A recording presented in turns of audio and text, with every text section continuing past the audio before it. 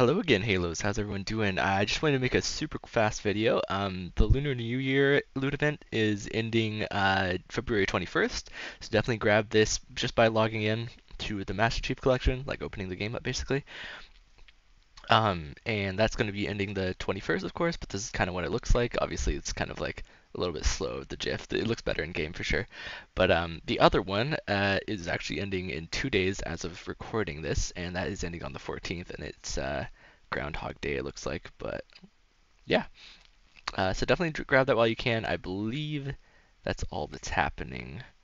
Uh, but yeah, I guess uh, you will get a free nameplate for the Black History Month as well. So there you go. Thank you guys for watching, and I'll catch you later. Peace.